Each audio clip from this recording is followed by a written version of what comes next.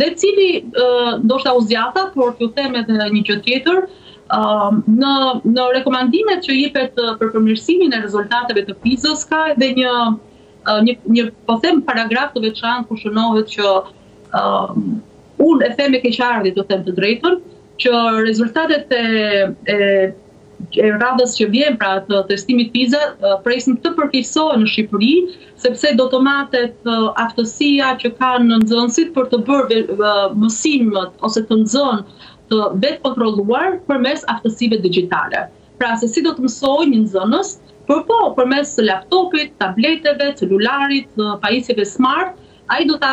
do ta ketë të vetëkontrolluar të po themi komplet aftësitë e tyre të do të jenë të vetëmenaxhueshme nga nxënësi